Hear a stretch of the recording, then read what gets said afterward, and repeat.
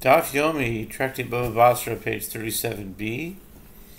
Top of the page, the words Dika Machshi, Machshi Bara.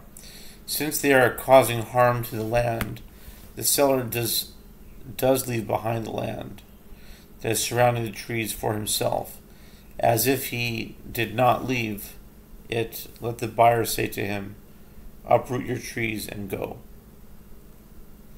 The Gemara discusses the reverse case. If one sold the trees and left the ownership of the land for himself, the halacha depends on the outcome of the dispute of Rabbi Akiva and the rabbis. According to Rabbi Akiva, one uh, according to Rabbi Akiva, who says one who sells sells generously, the buyer has ownership of the land surrounding the trees, as the presumption is that the seller included it in the sale, according to the rabbis who say one who sells sells sparingly. The buyer does not have ownership of the land surrounding the trees, as the presumption is that the seller did not include it in the sale.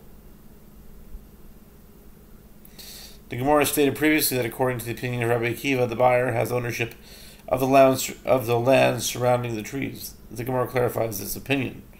And even according to Rav Zvid, who said on 37a, that in a case where one took possession of the land and another took possession of the trees, the one who took possession of the trees has no share in the land. That matter applies only concerning the case of two buyers. As in that case, the one who acquired the land can say to the other, just as it is so, that I have no share in the trees, you also have no share in the land. But here, where one sold the trees and left the land for himself. One who sells, sells generously. Therefore, it is reasonable to assume that the sale included the land surrounding the trees. The Gemara stated earlier that according to the opinion of the rabbis, the buyer does not have ownership of the land surrounding the trees. The Gemara clarifies this opinion. And even according to Rav Papa, who says above, in a case where one took possession of the land and another took possession of the trees, that the one who took possession of the trees has ownership of half of the land as well. That matter applies only concerning the case of two buyers. As in that case, the one who acquired the trees can say to the other, just as it is so, that the seller sold to you generously, as you have both the land and the right to consume its produce, he also sold to me generously, including the land surrounding the trees. But here, where one sold the trees and left the land for himself, one who sells sells sparingly retaining for himself whatever he did not explicitly include in the sale. The sages of Nehardea say if one consume the produce of an overcrowded orchard, he does not thereby, thereby have presumptive ownership of the orchard. Rava objects to this. If that is so, how does one ever acquire this alfalfa field, which is planted without spacing?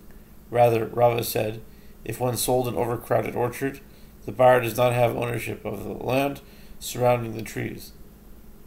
Generally, if one purchases three or more trees, he acquires the surrounding land, as the trees are considered an orchard. If the trees are overcrowded, they will soon have to be uprooted, and that is why the buyer does not acquire the land surrounding the trees. Rabbi Zera said, this is like a dispute between Tanaim in Kilayim 5.2 with regard to a vineyard that is planted on an area where there is less than four cubits of open space between the vines. Rabbi Shimon says it is not considered to be a vineyard with regard to the prohibition of diverse kinds and other halachot, as it is overcrowded. And the rabbis say this is considered to be a vineyard. And the reason for this is that the middle vines are viewed as if they are not there. and the outer vines meet the requirements for a vineyard. It follows that according to the opinion of the rabbis, if one sold an overcrowded orchard, the middle trees would be viewed as if they were not there. Therefore, it would be considered an orchard, and the buyer would acquire the land surrounding the trees. The sages of Nehardea say, This one who sells a date tree to another, the buyer acquires the land from its bottom until the depths.